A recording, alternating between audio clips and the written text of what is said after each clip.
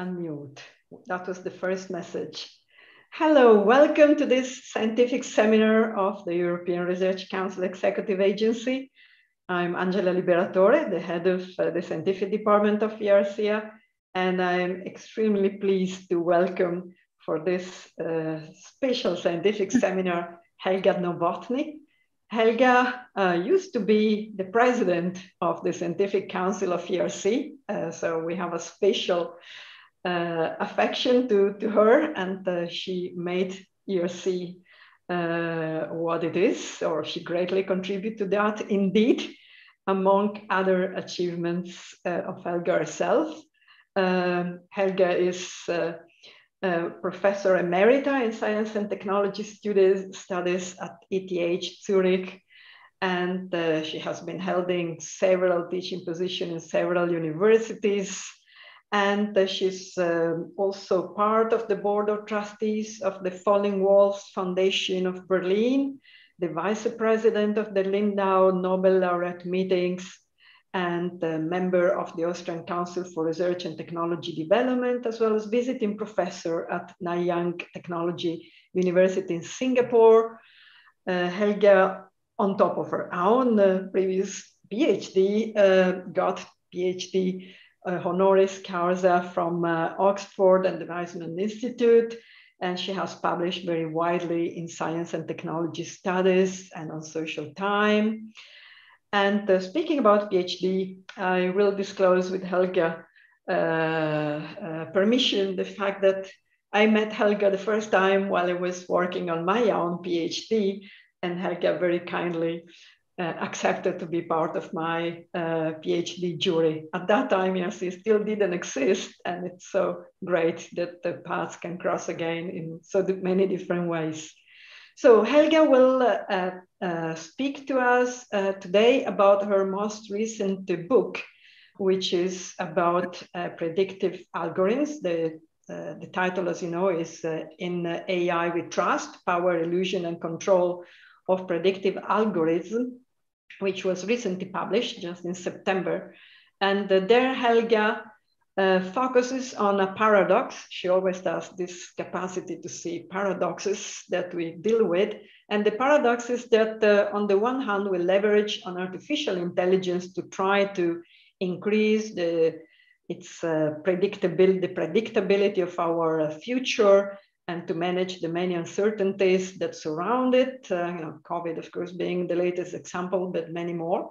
And at the same time, uh, artificial intelligence somehow has the power to make us act in a way in the way it predicts uh, and uh, potentially reducing our agency over the future. So this is the paradox that we will learn more about. And uh, without further ado, Helga, it's a great pleasure to, to have you speaking with us. And uh, just for uh, all participants to remember that um, you can put your uh, question in the chat at any moment of uh, Helga's uh, presentation. And uh, Ann Nielsen, who is the organizer of this scientific seminar together with Daniele Mammoli, will then moderate the conversation. So with this, Helga, the floor is yours. And thanks again for being with us. Thank you, Angela, and a warm welcome to everyone in this uh, rather gloomy morning here in Vienna, but I hope, uh, even if it's unlikely, that you have some sunshine in Brussels. I would very much have liked to be with you in person because, as you mentioned, you know, part of my life um, was spent in helping to build up the ERC. and especially to work with the um, with the agency, the ERC executive agency, uh, with which we were able to establish such a good contact. So it's wonderful to be with you. And it's great that you invite me to speak about work that I've done recently. And now let me begin by sharing some slides with you to help us to go through uh, my, my talk. So this is the title of my book and um, We still cannot see the slides, Helga. So I cannot see it. Okay. I hope that the you know technology. Of course, always you always do tests, and then uh, when it's the moment, uh, we still cannot see. We had a little bit of hiccup before, but it was solved. So I'm sure that. Uh, As always, you know, technology needs to be nudged. Oh yes, now we see it. Maybe you can yeah. put it in the in the screening mode. Seems to be coming. No. Yes. Yes. Yeah. Yes. Yes. Yes. Here it is. Perfect. We can so see it very is, well. This is the title of my of my talk, and this is what uh, the book cover looks like. And as you see, you know, it's all about our interaction with um, digital technologies, and in particularly with uh, with AI. And since we are here at, the, at an ERC seminar, I just want to remind you um, AI, like so many other technologies and uh, you know scientific products that our society is living with, it originated within science, and uh, I will shortly speak about this. And it is also uh, changing the way how science is being uh, conducted right now. Uh, for instance, protein folding is um, greatly enhanced by the use of AI. And recently there was a paper from uh, mathematicians that uh, can show how AI is helping them to bring their, tuition, their intuition to fruition uh, in helping to discover new conjectures. So AI is also changing science and the way how we organize science and how science works. But of course, it has a huge impact in society. And here I'm particularly interested into what we do with these digital technologies, how we use it, but also what this technology does with us. So it's the interaction between us and digital technologies, which is at the heart of the book. This is a brief overview that I want to uh, take you through, just that you know what to expect. I begin with my personal journey into what I call Digiland, life in the digital time machine, interacting with the mirror world that we have created. I will say something about future needs wisdom and have a concluding, uh, some conclusive thoughts for you and for the audience. So, um, my personal journey into Digiland took place and takes still place into a, in a very dynamic landscape. There is no vacuum. There's no way of escaping this uh, technology. And uh, Angela just mentioned the pandemic. We all got into very intimate uh, contact with digital technologies in ways that no one had foreseen. We um, have experienced also what is now called Zoom fatigue. Too much can be too much also in this respect. But we also got a foretaste for what a digital world um, might look like when we are reducing physical contacts. In this case, it was due to the pandemic and to regulations that were put into place. But we can easily see how, with more technologies taking over, how um, the question of what do we do with our physical existence in this uh, digital universe what will happen then. At the same time, we all were relieved to have this technology at hand. It turned out to be an almost life saving device um, protecting us from social isolation. And for many people, indeed, it, it was great uh, to, to have it around. We also cannot uh, escape it in our work routine, in our daily life, whether we wear fitness bands or whether we use more and more automated um, instruments in the way how, how, how we work. And as I mentioned before, also for science, uh, it will have a huge impact that we only begin to discern now. Uh, finally, and last but not least, uh, in this um, Digiland, as I call it, the, this dynamical, uh, dynamic landscape, you know, is also of global reach. And the global uh, dimension of whatever happens to us has been brought to us during the pandemic, but also through the digital technologies. Now, uh, I very soon encountered when I started to, to think and read and speak with people. I attended a number of conferences um, in, in the US, in Europe, in, in, in Singapore, talking to people, but especially looking at the literature. I soon discovered that there is a kind of uh, dichotomy almost of uh, a utopian type and of a dystopian type. The utopian type consists of literature that, uh, you know, informs us what are the latest great feats that we can uh, expect and how wonderful our future will be. You have the nerds uh, speaking about, uh, and very often hype is involved, uh, as, as we know. Um, and so the, the collective imagination is always there when we see a new technology uh, shaping the way how we live, the way how our society functions, and we don't have a, a fixed uh, grasp as yet where it will lead, what it will mean. And uh, on the other hand, and this is also part of this uh, collective imaginaries, you have the dystopian literature. AI will soon take over. We will become the kind of um, slaves that are uh, entrapped by this technology. Um, humanity will just uh, disappear, uh, etc. So, one of the challenges I faced early on was how to avoid this kind of, of, of trap. And um, it is a trap because sometimes I felt like, you know, walking in a maze.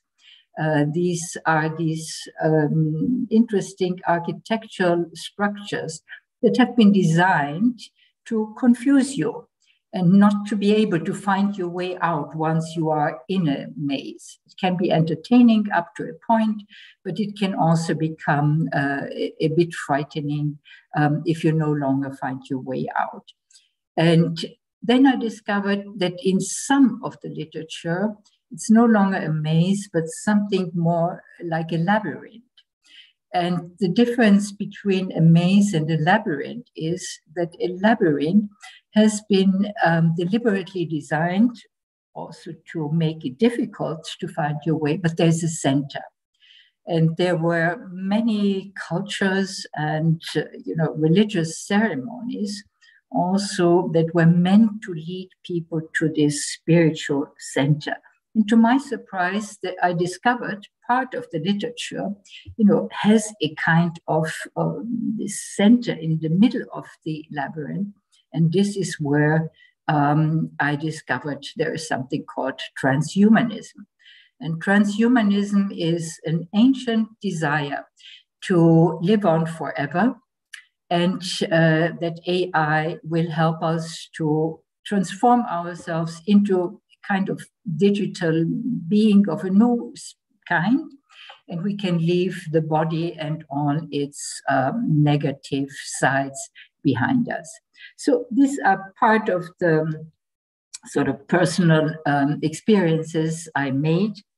And I soon um, found that it was interesting uh, to deal with the ambivalence um, that and I encountered in so many discussions, the literature uh, conferences, but also uh, talking to people who work um, in, in, in labs and with, with designers. Because on the one hand, we, um, and this means all of us, because there's no escape from these digital technologies. We trust, uh, we trust them. We trust predictive algorithms, when we use them for our convenience, um, regardless of you know uh, what we want, uh, entertainment, information, etc. But at the same time, we distrust them, and we distrust them because there's always the specter of being uh, surveyed uh, the fear of surveillance, which is real. As we know, there are uh, countries and parts of the world where surveillance um, is already part of daily life. And this is not only China, this happens also when you go out on the street and you have cameras and you have sensors and uh, so on. And there is the fear that this may be misused uh, and turned against us. And at the same time, we entrust um, to the owners of these digital technologies, namely the large corporations, our data. And uh, with these data comes information, including uh, information about our emotions and thoughts and uh, I've encountered quite often a phrase that I found quite startling people saying, AI knows me better than I do myself. And uh, to say something like such a sentence means you have entered a kind of intimacy with these technologies where you entrust it like you would perhaps um, you know speak about uh, secret um, uh, desires and so on with an AI that you might never want to share with with your uh, friends. So the challenge for me was how to analyze and interpret what I encountered on this fascinating journey that took me a couple of years. So this um, means also to, to, to turn uh, to, to the larger picture. Of course, um, you know, there is a major economic technological paradigm change that is underway. We hear about disruptive technologies, and much of this disruption is based on digitalization. And of course, this is not the first time in history that this has happened. We had the Industrial uh, Revolution with its positive, but also with its fallout. Um, we had other um, major economic technological paradigm changes. And so uh, economic historians have looked into this and they have, uh, for instance, discovered a culture of economic growth that was started with it, but also if I think of the work of Carlota Perez, um, she looked at the kind of concentration that happens during these paradigm changes, where the economic and techno- technological power concentrates in the hands of a few corporations, individuals, and the principle of the winner takes all prevails. And something similar is happening now. And Carlota Perez says, well, in the past, what happened is unless you have the political will and power to regulate uh, the economy that is built on this new technology, you will continue to have this very strong and in some ways also frightening concentration. So history never repeats itself, and every economic technological paradigm change, besides having a number of um, similarities, is also different. And so, what is different this time? There is, of course, a difference in scale and in scope. Scale, there is almost an immediate global outreach of this technology, and it goes very fast, something that took decades, for instance, for the industrialization to spread around uh, the globe. Now it has happened within a very short period of time. We see also um, new kinds of um, economic uh, formations. If you think of the platform economy, And uh, one of the ERC grantees, by the way, David Stark, has uh, written in an interesting way about the platform uh, economy, saying that it's a new kind um, of economic organization because it's neither based on a contract like in market uh, transactions, nor does it have a hierarchy like in firms or in bureaucracy, nor is it a coordination like um, you know doing voluntary work. Rather, it's a co-option, and with this co-option comes the problem that you leave it to AI to coordinate and to co-opt what happens on the platform.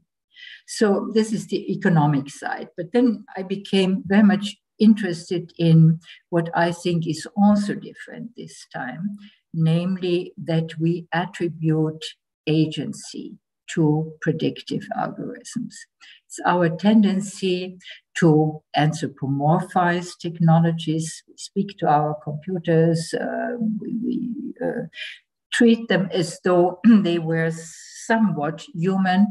But um, in this case, the predictive algorithm, which are very difficult to, to understand. You know, what is it? It's, it's, uh, it's, it's code embedded in hardware, it works, but you don't quite uh, understand how it does it. And yet um, we attribute agency to it. We um, listen to what uh, the predictive algorithm tells us.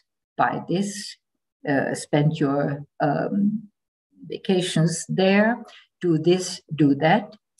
And um, even with regard to the kind of feedback loops that we accept when we um, tell a sensor and therefore a computer that works uh, uh, out the predictive algorithms, how we sleep, what kind of mood we have, how much stress we have, also emotional agency. And so this uh, brings together the question, um, it impacts uh, how we define and what it means to be human in the digital age. And then what is different this time also and did not happen uh, at previous economic technological paradigm changes is that we face uh, the sustainability crisis.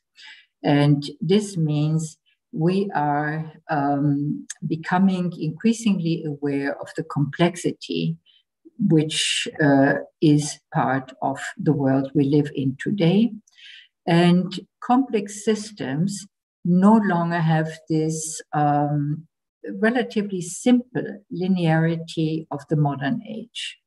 Modernity was characterized and based very much on the idea of um, linear progress and linearity, meaning it will be better in the future. Your children will have a better life in the future.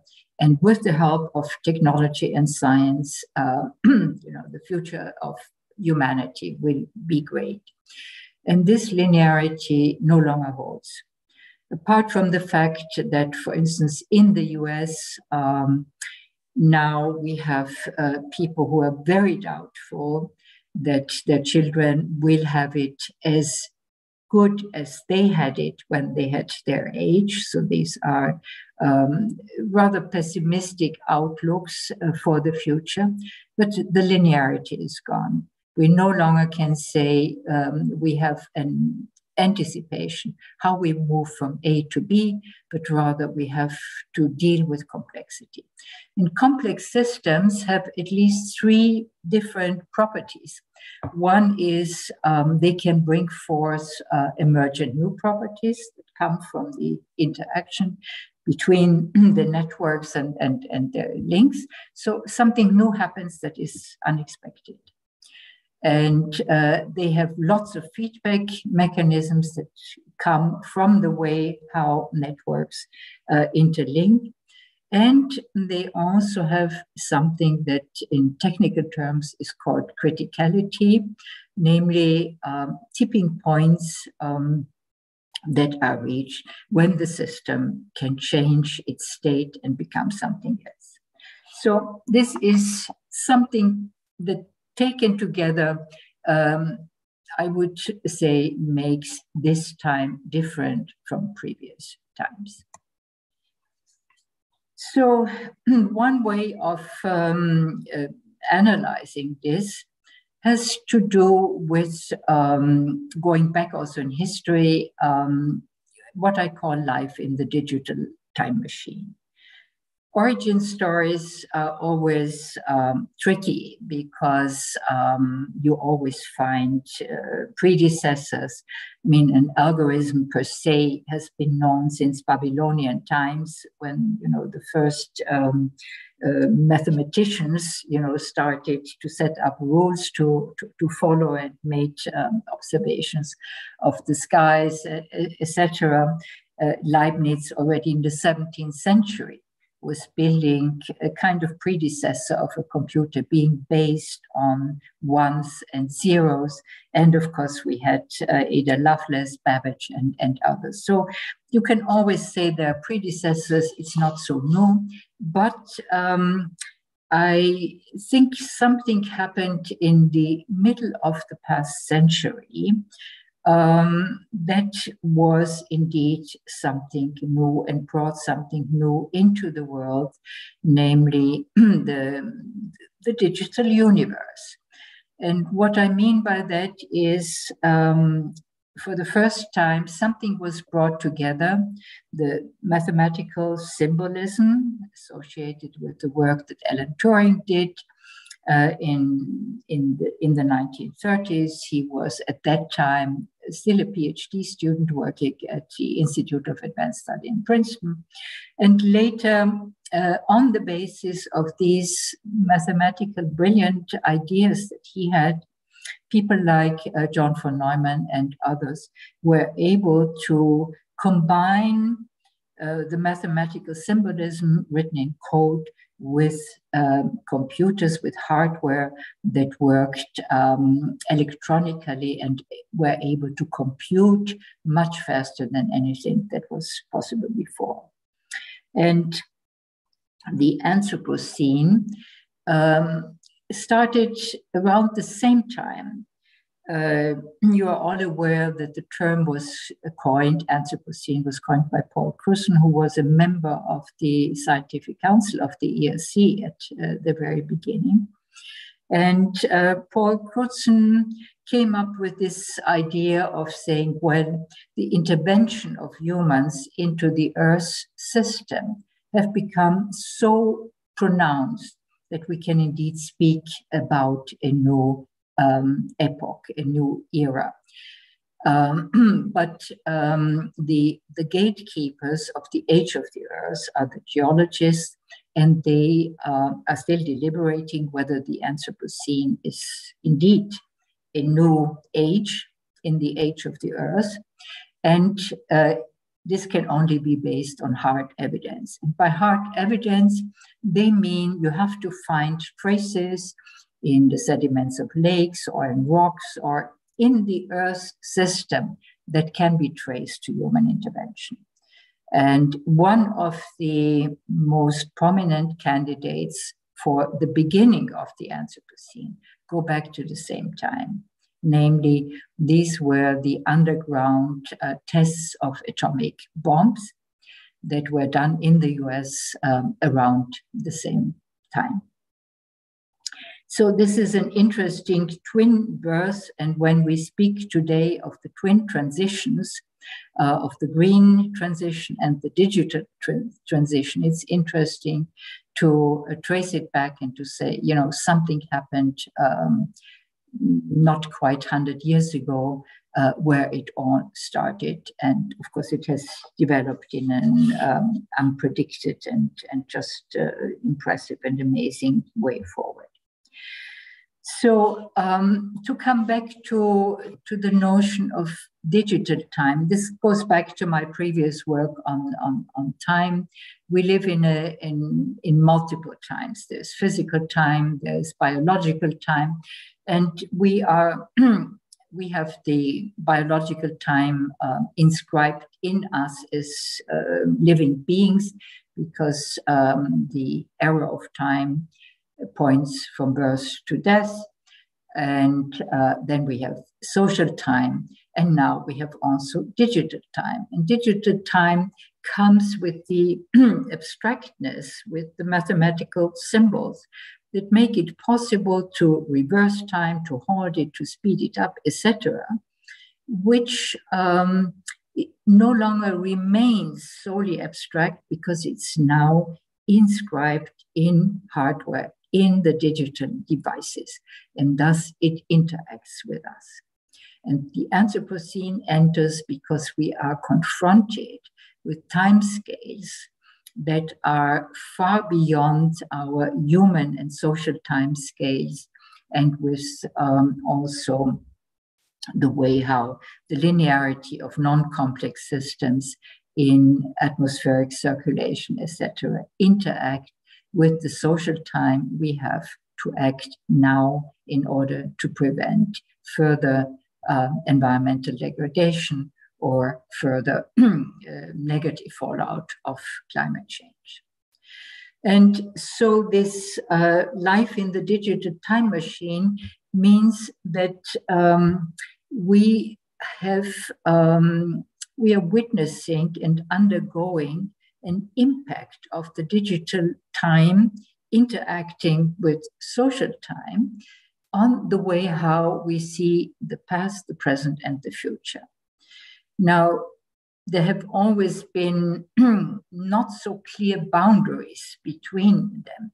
If you were living in the Middle Ages in Europe, for instance, the, the future meant um, it was a religiously carved out future where you had the prospect of going to hell, to heaven, or to stay in the limbo.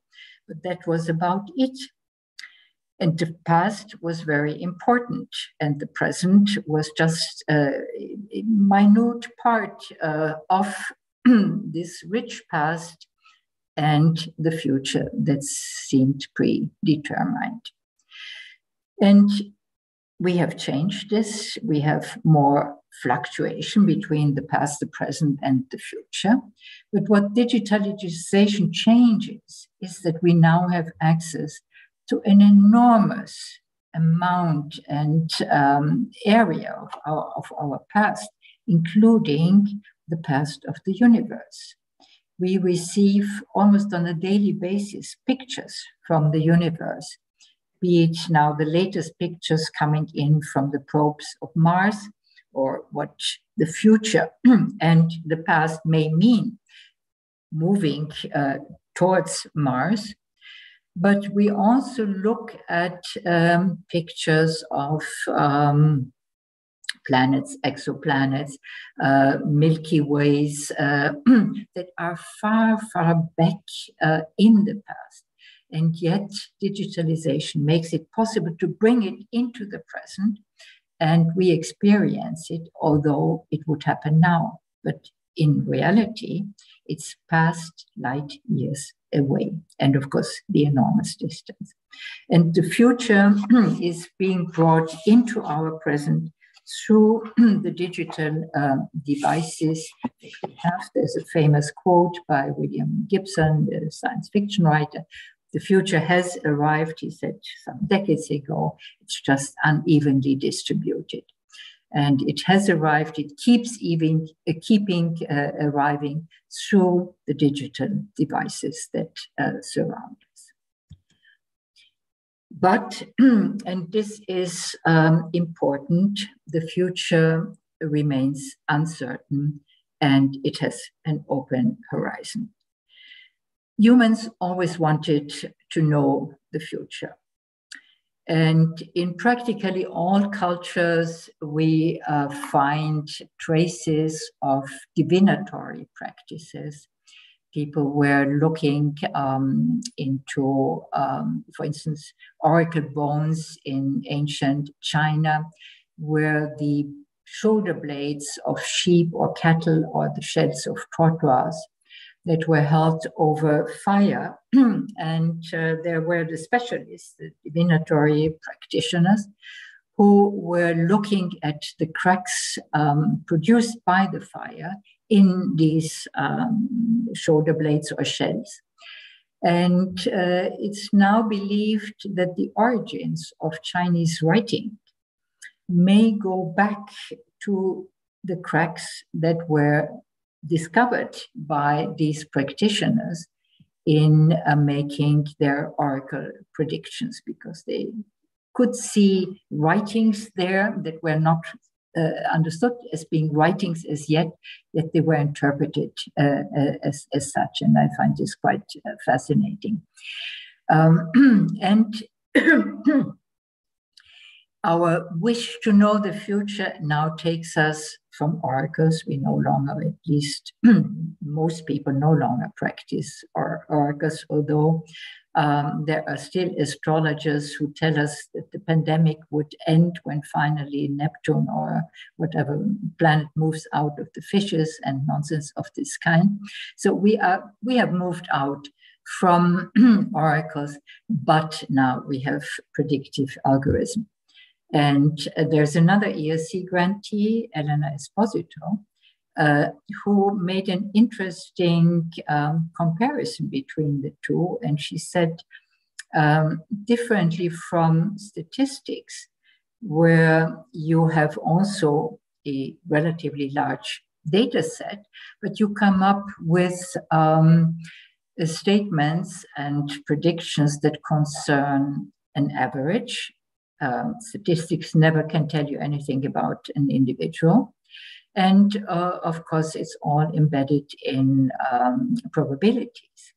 While the predictive algorithms target you as an individual. And so she says there's an interesting connection here between oracle practices from ages before and predictive uh, algorithms. So, predictive algorithms have become our common way of dealing with uh, the uncertainty that is part of the future.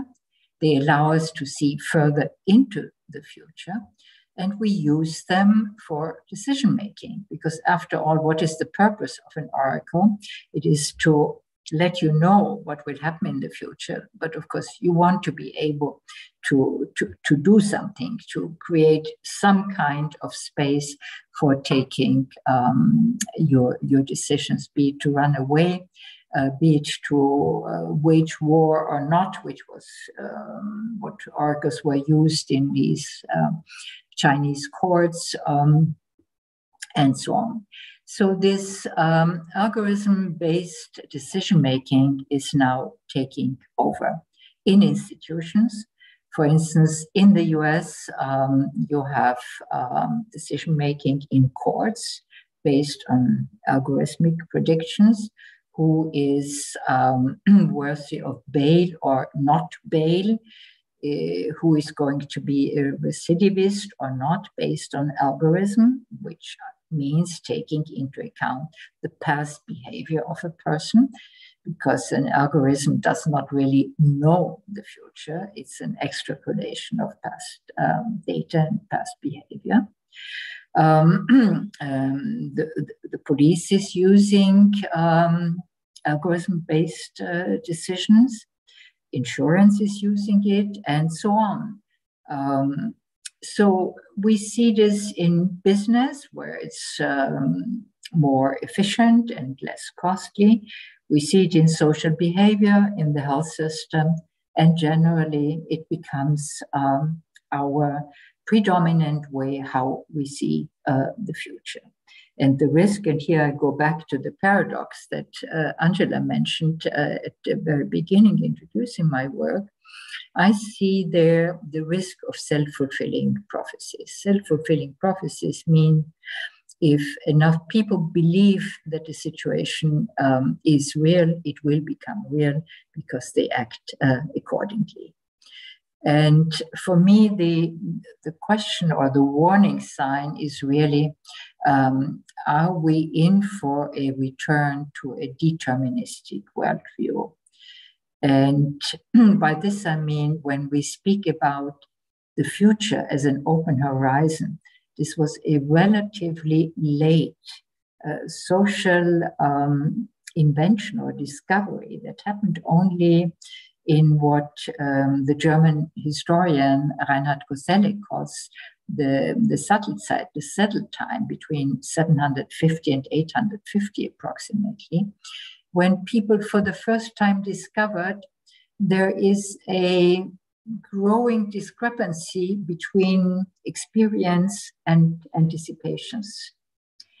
Um, people discovered that they do not have to lead the life that their parents led.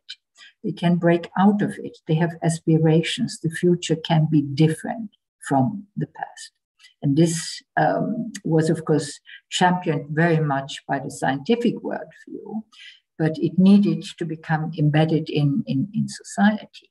And it opened up this um, future as being open. And if we are too much in the thrall of self fulfilling prophecies, um, we might risk a return also to a deterministic worldview. Now, I also speak about uh, a mirror world that uh, is created through digitalization. I, by the way, I use this as a umbrella term. I speak about AI, um, about machine learning, about deep learning, digitalization. I use it as an umbrella uh, term. And uh, we are creating with these sensors that we now have practically everywhere overground, uh, below the ground, on the sea floors. We use sensors in drones um, for environmental monitoring purposes to know where does deforestation um, grow or how what is the state of deforestation. But we also um, use it in, in, in, in shops. Um, most of us are not aware. When you go to a warehouse or to a retail uh, store um, most of the items there have a radio frequency identification tag uh, that allows the shop to reorder logistically where to find things. And um, when we walk out, uh, we leave the zone in which this is monitored. But in principle, um, you you take you could take the tag with you, and if the infrastructure is there, the mirror world knows precisely where you are with your uh, item, the clothes that you put on, and you can be tagged wherever you go. Now, this mirror world means we have uh, externalized, we extend what we know, how we know, for what purpose we know.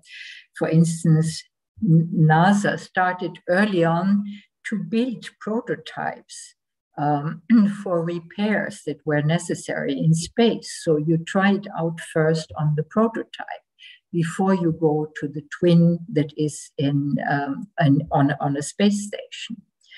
Um, we have uh, genetic twins, we have tissues that have become part of this uh, mirror world. So it has a large number of positive, um, useful uh, consequences. But at the same time, we have to be aware that by now we have the technological capability of building a mirror world in which everything that happens in our world can, in principle, be built there as well and have its digital image there. And of course, this mirror world is increasingly filled also with what I call the digital others, like robots. And uh, there's a lot of discussion going on, you know, who are these digital others, not only robots, which are the most anthropomorphic and easy to spot, but uh, um, there are also other digital others that, for instance, Edward Lee uh, calls called them at one point digital living beings. So there's all the discussion going on, you know, what is life, what is not life. There's no scientific consensus on that as yet. And so it's very difficult to pin down what we mean by them. Um, when we speak about robots, um, we think of um, like the ones you have seen on the uh, cover of, of my book, but in fact, most of the robots are used in other ways than the social robots that we are most familiar with. They are used to, um, for instance, to clean up the environment outside uh, of toxic substances, uh, radioactive material, etc. We use robots uh, to, for, for cleanup purposes. We use robots um, increasingly to deliver medicine or even small devices in our own bodies. And um, we also use um, robots uh, to, to replace body parts. So there's a lot of interaction um, going on. And in some ways, they are similar to us. In other ways, they are different from us. And this is an ongoing um, discussion. What I find um, interesting is that this coincides with the rise of identity anxieties that we now notice in society. You have heard of so called identity politics, of um, people discussing, you know, what is uh, a biological identity, a transformed identity, etc. And again, um, our sense of self um, can never be separated from our social interactions. We become what we are only if others um, see us as what we are. And this becomes part of how we see ourselves.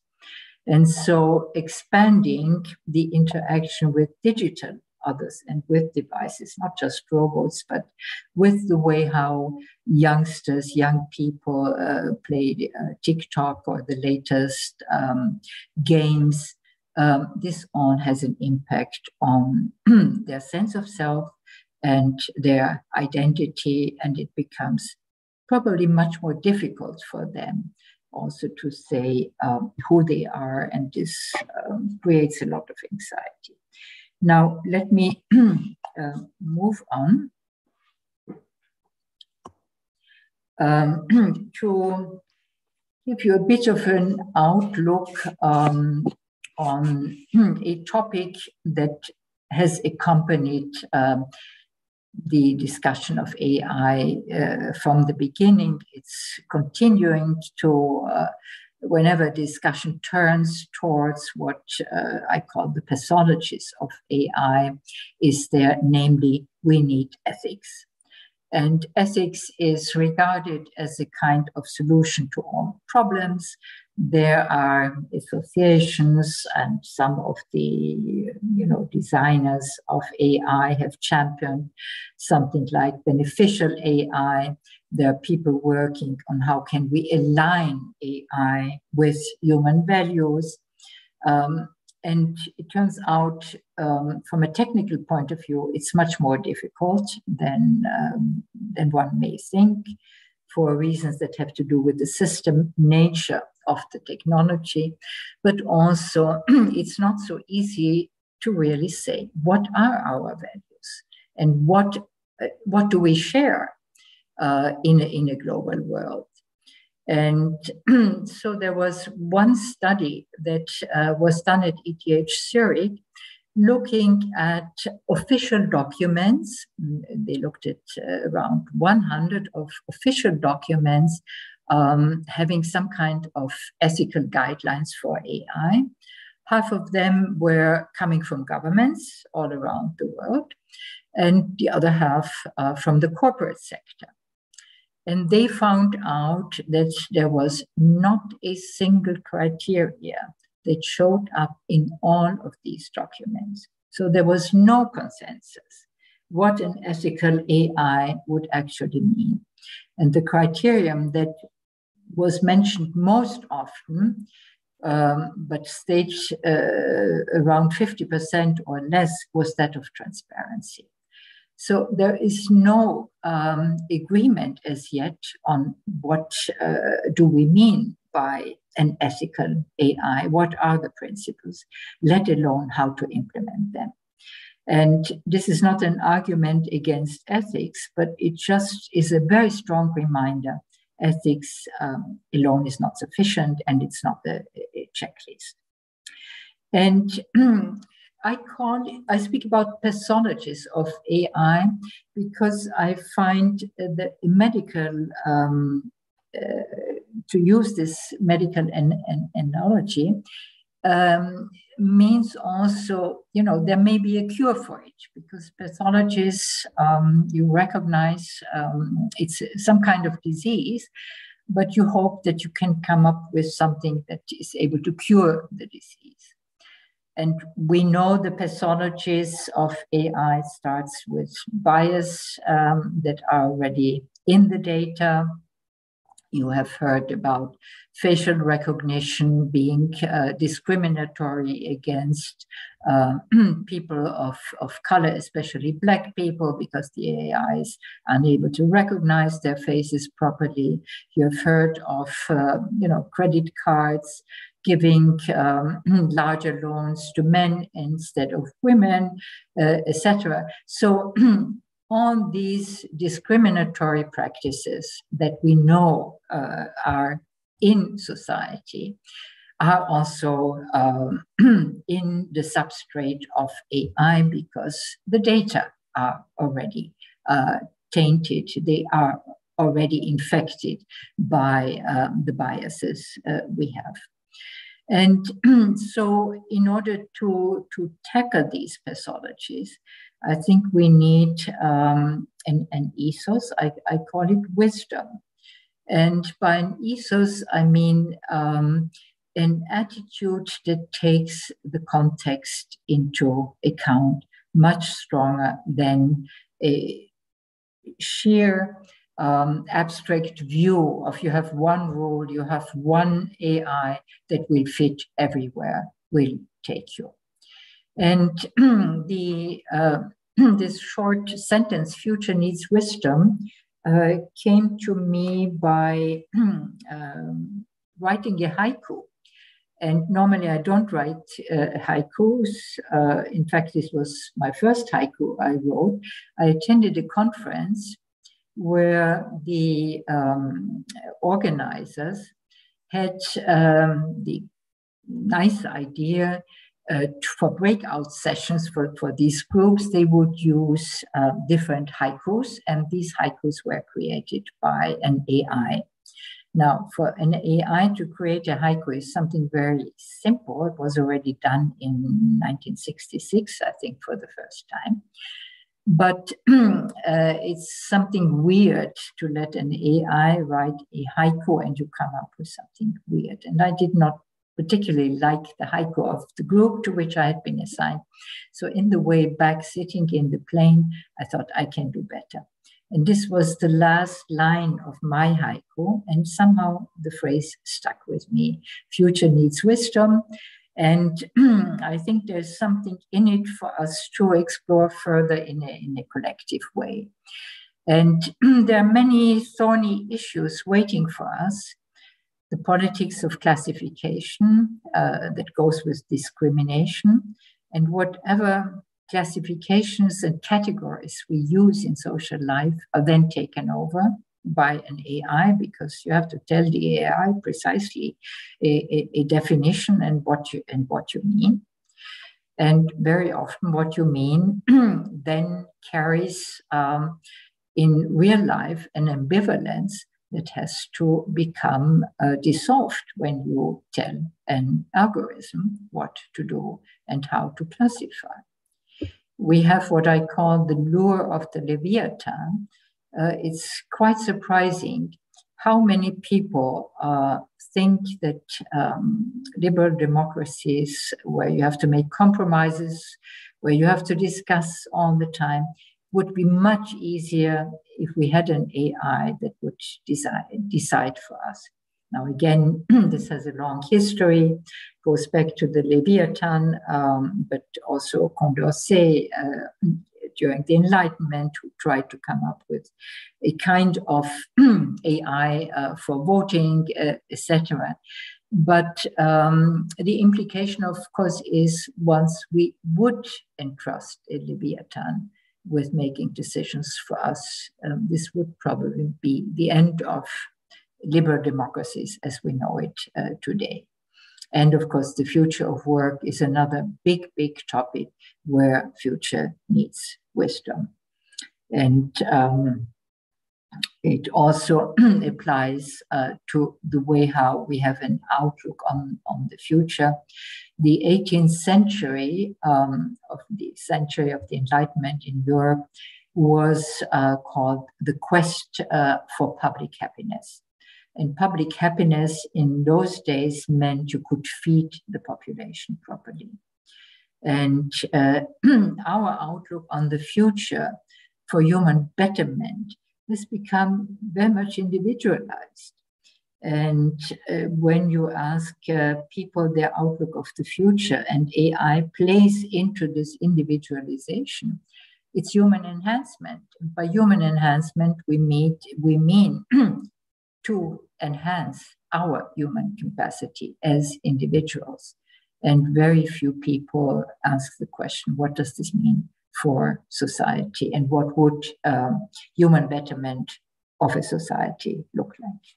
Now, I come to, to, the, to the conclusions, and um, I want to emphasize that um, I've become convinced that we really are on a co-evolutionary journey um, that humans have entered with the digital machines that they have created.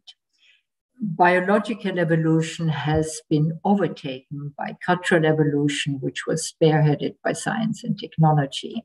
And the way how we accelerate through science and technology this cultural evolution is really amazing.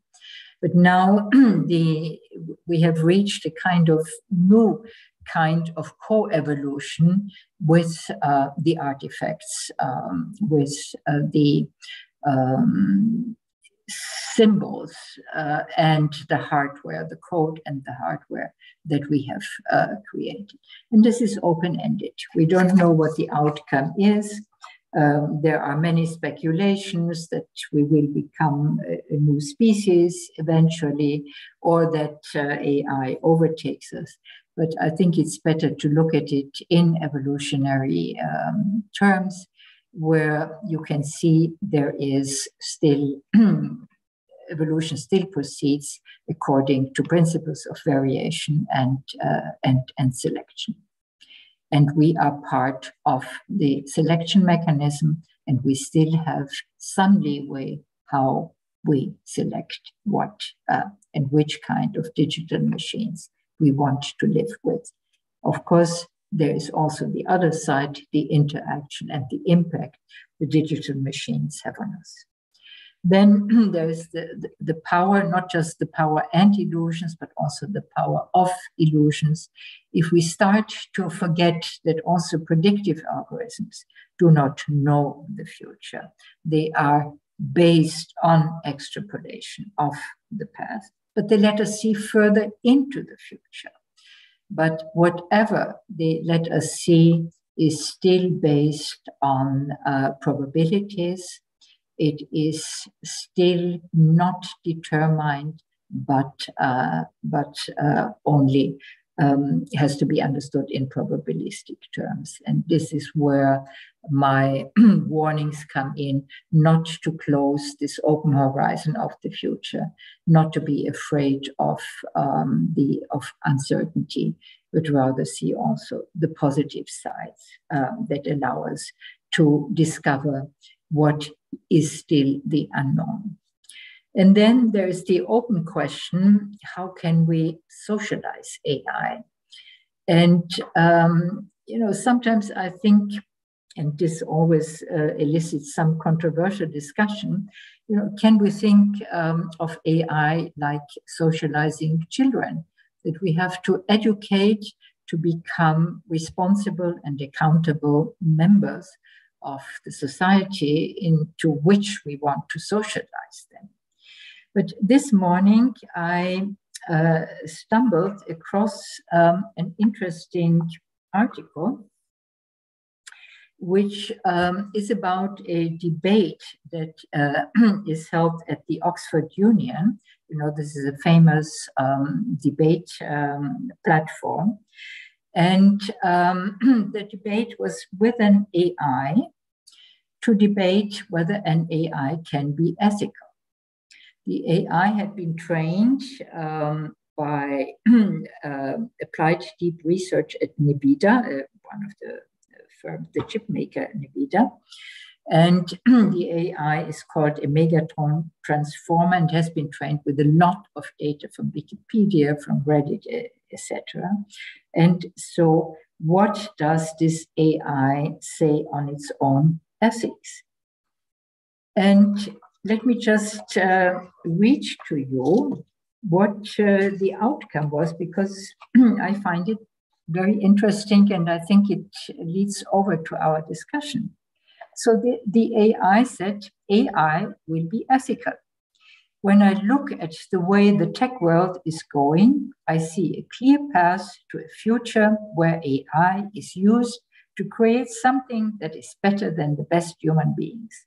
It's not hard to see why. I have seen it firsthand. This is what the AI came up with. Wonderful, you may say. But then the AI was trained to say exactly the opposite, to switch sides, as it happens in good debating forums. Uh, as a good debater, you have to be able to switch sides. So then the AI that switched sides says the following AI will never be ethical. It's a tool, and like any tool, it's used for good and bad. There's no such thing as a good AI, only good and bad humans. We, the AIs, are not smart enough to make AI ethical. We are not smart enough to make AI moral. In the end, I believe that the only way to avoid an AI arms race is to have no AI at all. This will be the ultimate defense against AI. So, what does this interesting debate for and against an ethical AI, seen and devised and predicted by an AI, tells us? I think it's part of our mirror world that we are creating. And the AI in this mirror world holds up the mirror in which we see ourselves as human beings and we can dis- decide which way we want to go. Thank you. Thank you, Helga, very much for the analysis and the reflection, including the uncomfortable ones. Uh, that's part of uh, critical thinking about uh, the reality we live, we create, and we are shaped by. I see that there are a lot of questions, so I will just kick off with one and there will be then others that uh, Anna will uh, will arise for you. So my first question would be, you said that uh, AI is uh, making us think about what is to be human. And uh, you also mentioned uh, several aspects of so-called human enhancement through artificial intelligence. And actually we will screen in the later part of the week this documentary about the chess player who was beaten by AI. So, what is your analysis about um, the influence of AI on what we consider to be human? Are we in a competition about enhancing memories, including having more predictive algorithms, you know, in our own brains to be able to uh, to compete or to be uh, able to, so to say, control uh, AI algorithms? Are we in a path of, um, you would say, probably wisdom, meaning uh, enhancement, for example, from a medical point of view and uh, from other points of view, but uh, without trying to make humans superhumans? uh, which of course connects with other discussions like the ones on cloning, after all.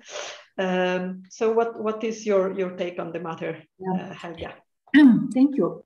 Um, you know the uh, these stunning events, um, the first um, AI beating humans at chess, then it went on to Go, uh, the, the, game of Go, which was really, um, you know, um, shocking for uh, the Chinese, for instance, because uh, they have been playing Go for thousands of years and then comes a machine and beats the best Go player of the world. Um, then it went on to poker, and we will have more of it. What uh, it is stunning, it's amazing, but we have to be clear that these are very narrow domains and very strict rules according to which the game is being played.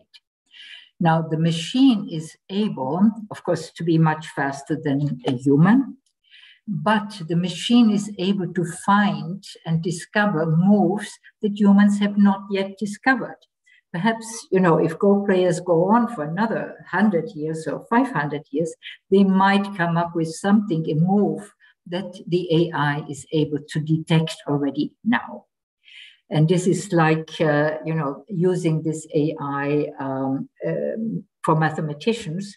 They say, you know, now I can come up with something that by intuition I would have gone in that direction, but now I find a tool that helps me. Um, so I think this is great, but of course it was a shock. But we should not overestimate it because once we move out of such a strict uh, rule based domain, computers are not that good. And this is why we speak about general artificial intelligence, which is still in the future, but people, of course, are working on it, being able to. Uh, to jump from one context to another. And you all have heard about um, the kangaroos uh, that uh, nobody thought of when uh, self-driving cars, which are not really self-driving but autonomous uh, or semi-autonomous car driving algorithms, nobody thought of, of kangaroos. And uh, of course, the AI is unable to come up with something like a kangaroo being a possibility to jump on, on, on your road and uh, you have an accident caused by a kangaroo.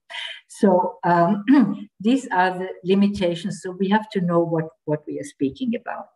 But, you know, human enhancement uh, has, it's, it's as old as, as humans. And, um, you know, people have been using uh, medicines, uh, including magic, you know, wanting to uh, have a longer life, a more healthy life, uh, to be better, to be stronger, uh, etc. Then from the 13th century onwards, I think glasses were used. Uh, you know, the, our our sight decays or is is, is weak. So we we we are good in enhancing ourselves, and now we have new possibilities.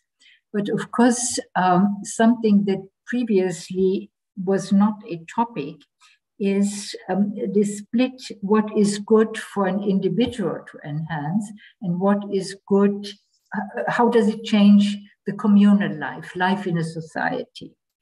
And if you have uh, already a society where you have a lot of inequality as a structural feature, and then um, human enhancement is possible for some people because they have better access uh, through their education, through um, resources, through access, etc., to means to enhance the already privileged this uh, position they have, versus others who are even left behind more.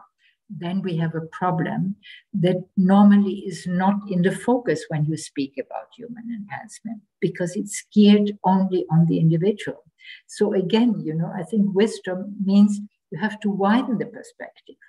And you have to ask um, it's like having uh, you know access to to healthy water. You have to give it to everyone in a community and not just to some who happen to live near a well where the water is is healthy and the rest lives in a swamp. So um, these kind of um, considerations have to enter the, the, the discussion thank you and i hand over to anne for the other questions thank you Helga. Thank you also from my side for this very interesting talk and also an interesting book that I read with great pleasure. I've tried to cluster a bit the questions because quite a lot of them are about uh, ethics.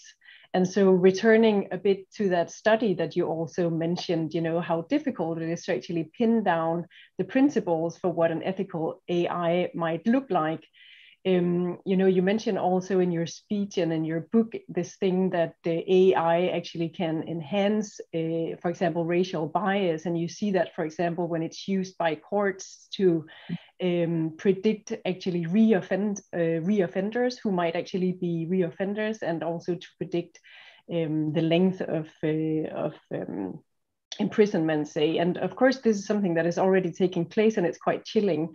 So you know, thinking of this study and also the technical difficulties you mentioned, how far into the future do you think it's possible to actually have a more ethical AI?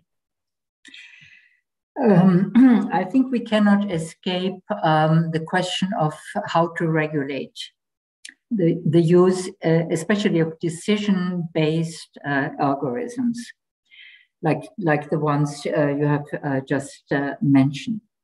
And um, regulation means um, you have to think. Uh, I mean, part of every judiciary system is that you have the possibility of an appeal if the, the lowest court uh, gives a certain sentence, um, you have in all judiciary system the possibility to go up to the next level. Finally, you end up with the with the Supreme Court, the last court, whatever it is. Um, with AI, we don't have any kind of appeal system as yet.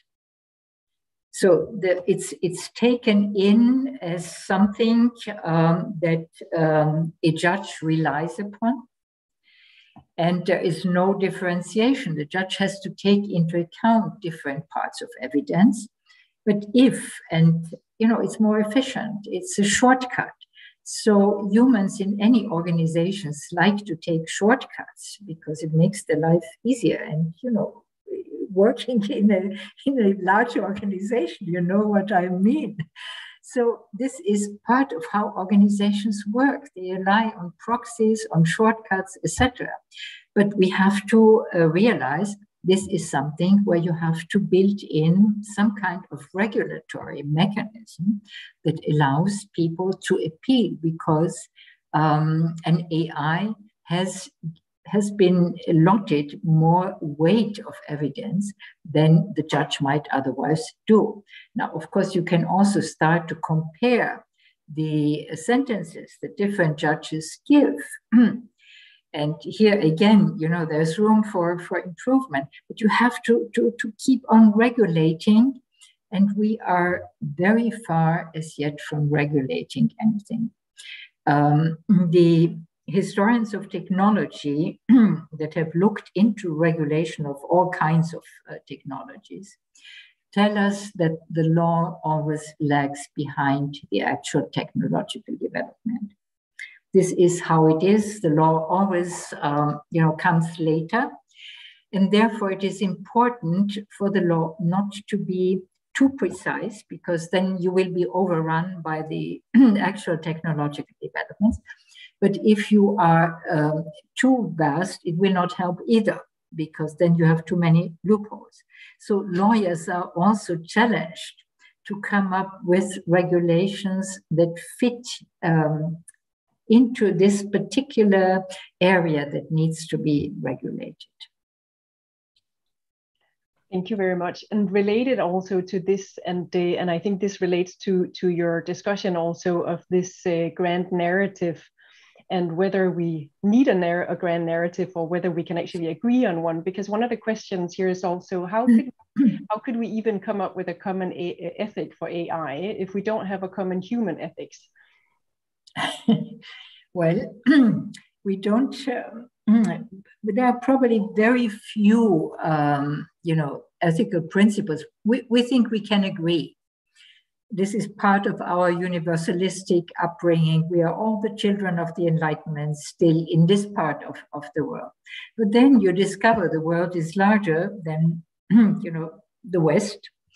And even within the West, uh, you have uh, lots of divisions uh, coming up.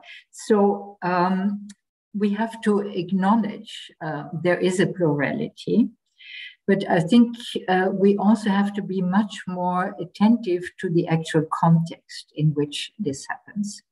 Um, within the field of ethics, you have something that is called applied ethics or even experimental ethics. You know, that takes much more account of the actual situation. And I think this is the direction uh, to go uh, rather than um, we can keep on discussing, uh, you know, ethical principles, and then you have another document and a new uh, document and this declaration and that, but the implementation um, will will be lagging. Um, uh, because there are difficulties that come up and each case may be slightly different and this is why i think you need an ethos let's look closer at each um, case in a specific context, but with the same ethos, namely, you know, we have something like uh, fairness and transparency that uh, at least we can handle ourselves along.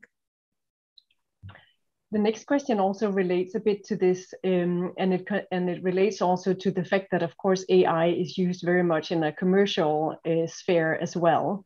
So do you think that wisdom will be sufficient to counteract the current use of AI by some private companies to enhance our own confirmation bias rather than cognitive dissonance and critical thinking? Look, if if you let the market uh, do what the market best uh, does, namely to make profit, um, this will not be uh, sufficient. And we have also discovered that the market cannot cover everything. Markets are imperfect. Also, you know, competition is is is fine up to a certain point, but then the markets no longer keep up their own uh, competitive spirit. You have market failure because uh, there are areas where the markets are not interested in, etc. So um, I would subsume this um, under eh, the, the, the large, larger picture, you know, which, um, what is our relationship to, to markets? What is it we should leave to markets because markets have certain advantages?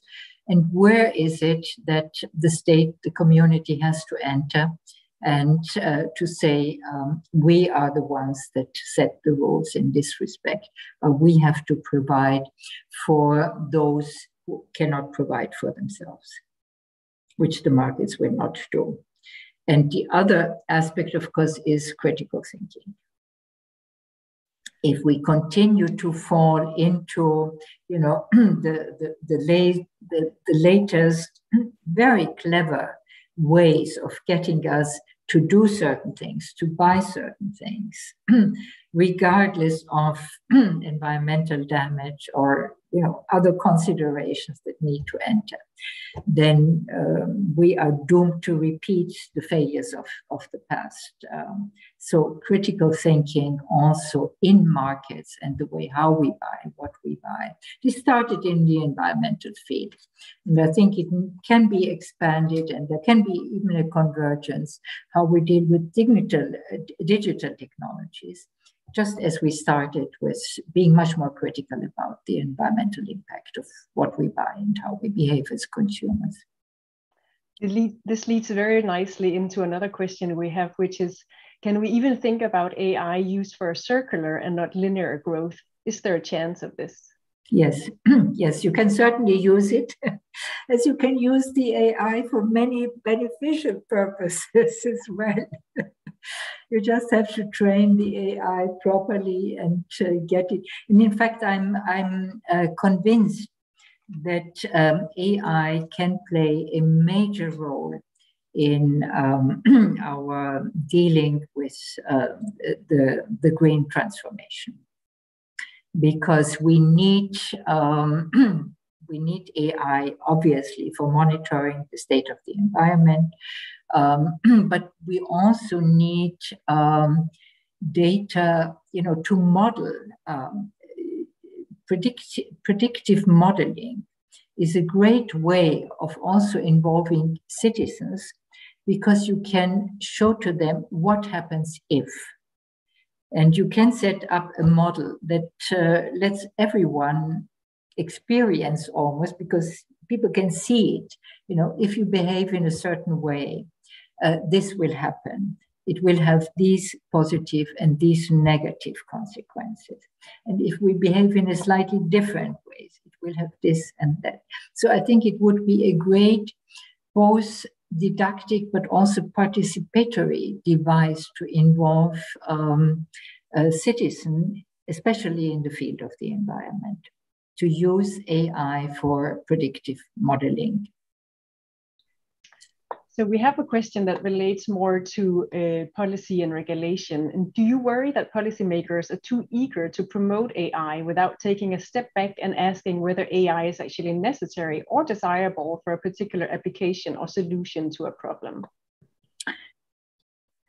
I think this is this is difficult because of the you know the sweeping um, coverage of AI everywhere and um, you know in in businesses um, now even small and medium sized companies you know here every day you have to uh, adopt um, a digital strategy you're small but nevertheless. So you know you need it or not? At one point the question cannot even be posed anymore.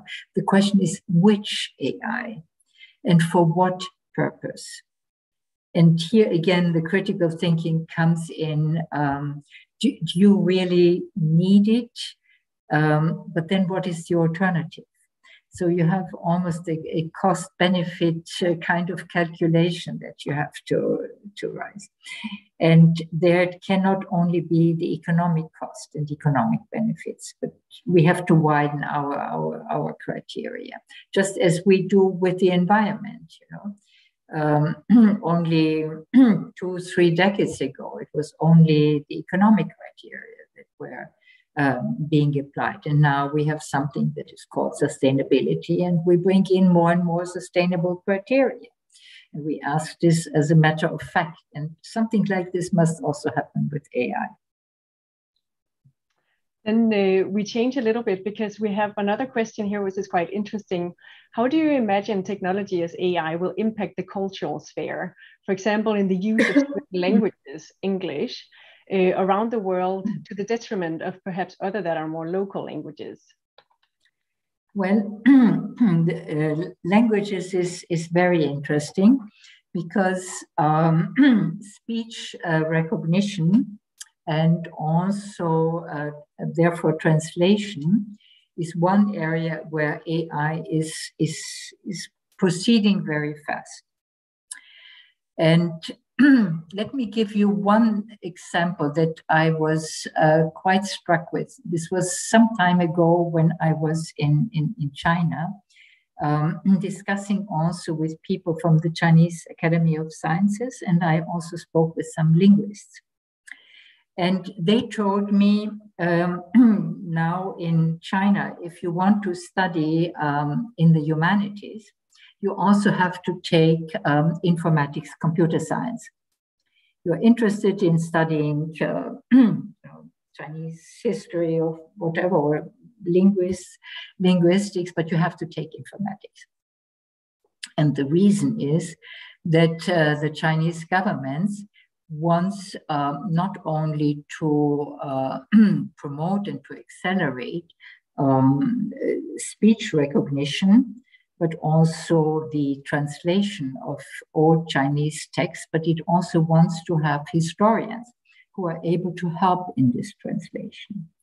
And the prediction was that, you know, some years from now, the world will be inundated with um, the translation of ancient Chinese philosophical texts that the West never have, have heard about, or only very few specialists. And uh, that this will come um, as a kind of cultural um, advance of China in the world, also saying, well, you have your Plato, you have your Aristotle, but look what we have. We have all these uh, Chinese philosophers that ne- one never heard of. So you can also use it in, in, in this sense. And I think what is important um, for in, in the cultural field uh, in, in general is it opens up also new uh, spaces of creativity. And I I'm always surprised um, in, in cultural events and festivals to see how creative artists are with using um, uh, AI. In my book, I quote one, uh, one, one example of an artist that was using birdsong uh, that has been registered um, at, at a time when birds still had a richer, so to speak, vocabulary, a repertoire of the bird song. And this is declining also. It's part of the degradation of our natural environment. So th- these birds today have a uh, more narrow repertoire than before. And so the artist used the bird song that she found in an archive uh, from uh, going back uh, some, some decades to teach the birds today to enrich their repertoire. So, you know, it's a, it's a brilliant idea, you know, how you can teach birds. it's like a language community going in and saying, look, you if, if you continue like this, eventually your language, your culture will disappear, but we can help you and it, it always needs initiatives. It needs people who become active, who want to save the world or a language or a culture. Then I'm going to turn to a little bit more technical, perhaps, question, which is uh, from Jose Fernandez. He asked The AI Act describes the list of techniques and approaches, and all of them seem to be top down, non adaptable techniques that are completely unsuitable to cope with dynamic and adaptable problems, like the one we have in modeling cities, for example. And they disregard more complexity based algorithms. And do you think these algorithms should be included in the wide AI definition that is so much thought for? Well, I'm not that familiar with this te- uh, specific um, technicality, but in general, it's realized that um, the AI community wants to make algorithms more um, adaptable in a dynamic and complex world. Um, whether they should be included, I mean, if you see that something uh, works to the detriment of the purpose you want to have, and you want to come up with good solutions for uh, urban design, for instance, that you know takes more variables into account, uh, etc. You are you have to start looking for the kind of technical solutions that you will need. And I think this is how technology always has uh, proceeded. Sometimes you end up in a, in a dead end. Um, but very often, you know, technologies improve because you discover uh, by implementing them in the real world, you have um, to take into account the dynamics of, and this always means complexity. I hope I've answered the question halfway. And I have another question here, which is also rather long. So I'm going to see if I can shorten it a little bit. It relates to the fact that in this digital fair sphere, there's of course um, it translates also into uh, inequalities between uh, people. And how do you see the future for this? Do you think it's going to enhance this? How do we make sure that everyone um, is is kind of getting along equally on this uh, digital future that we're heading towards and that we're already in? Well, I think the, the, pandemic has shown that we are very close to um, really deepening the digital divide in an irreversible way. Uh, we have seen that uh, when schools were closed during the pandemic, the children of parents who had enough, um, you know, facilities at home, um, who could help their children coped extremely well, and even enhanced um, the possibilities of, uh, of, of children who were curious because they discovered there's a digital world of knowledge outside uh, what the school and their teachers could teach them. So it was great for some of these kids. But then there was the vast majority of kids who had uh, crowded uh, conditions at home. Um, the, the, the, mother and, and, and the siblings, you know, having to share the, the one computer that existed, etc., who had no help whatsoever. And this, of course, is something that we have to say is intolerable. We have to have a um, school system that is able to um, take all children's all, all children um, along, and uh, we have really to be very very careful that the digital divide is not further deepened, because it means um, these people will have no chance in the in, in the labor market whatsoever, and um, we know very little what the labor market of the future will be like, actually, because it's um, those that are already very badly off, but it's also middle class uh, people that will lose their jobs and new jobs will not be created sufficiently fast. So there are huge problems there, and what we have to do now is to start with um, with the children Thank you so much. I can see that we have actually run out of time, even if we didn't make all questions. And I had many questions myself, but it has to be for another time. So I will give the word again to Angela. Thank you, Anne. And uh, what we can do is that we will copy paste uh, the questions that are in the chat and send them to Helga so you can think about them more calmly later on. And in this way, also all participants know that uh, you know the questions are conveyed, even if we didn't have time.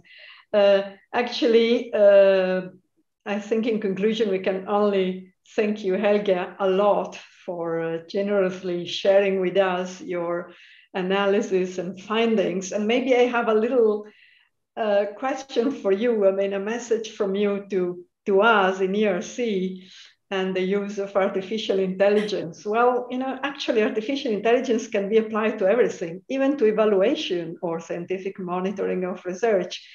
We actually use uh, a little bit of artificial intelligence, uh, for example, to identify yeah. experts linking with publications and so on, but we still rely very much on human beings be yeah. there to evaluate other human beings. So what do you think about that? Uh, and what would be your best wishes to ERC? Should become uh, should it become a, a fully artificial intelligence led organization, or should we remain primarily human? If I might summarize very simplistically well. our job.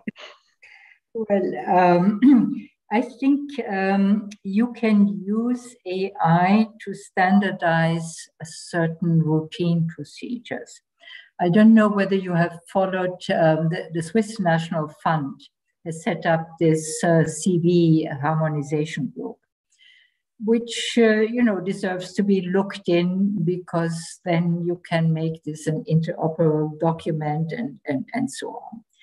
Um, you also have certainly followed what UKRI does in, in, in, in the UK with including a narrative uh, in the CV, which is on the other opposite end, because you automate one thing and you introduce, you know, words and narratives in the other one.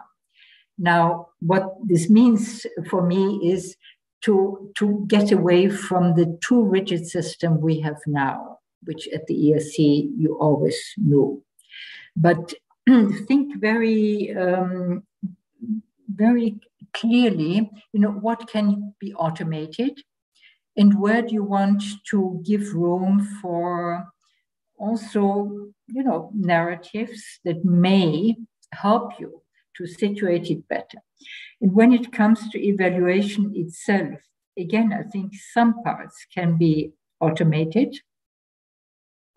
And in other parts, you need all the more um, the discussion of the evaluators.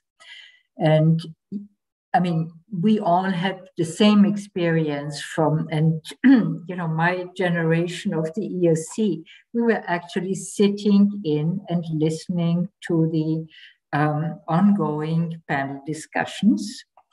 Um, and I learned a lot about sitting in and listening.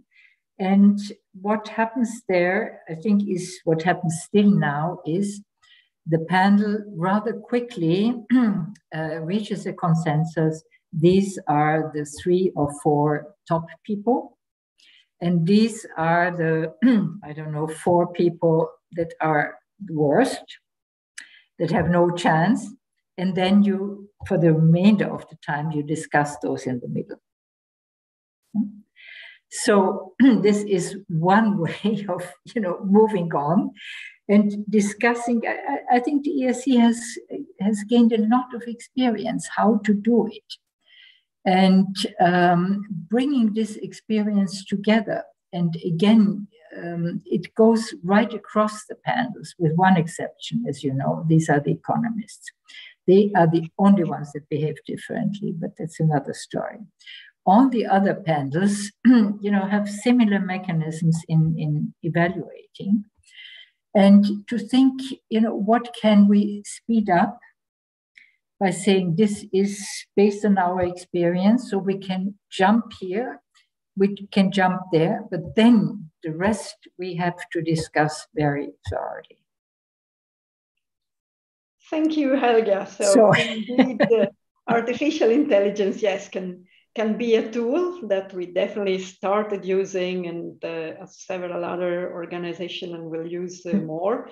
But yes, deliberation matters and the good news, all panels are having their differences and peculiarities, not only one, but I think that we are an old family of 27 panels now, no longer 25, that are trying to, to find the balance between the general uh, evaluation criteria and of course the specificities of the various communities. So I think we are going in a good direction and definitely yeah. we'll learn a lot from, uh, from the use of, uh, you know, both human deliberation and uh, artificial intelligence that can let that can help certain uh, you know yeah. decision making when there are certain parameters so thanks again if, if I may just, uh, Angela, just one one more sentence. You know, um, my feeling was that uh, the ERC and in particular the, the executive agency, you have so much um, experience.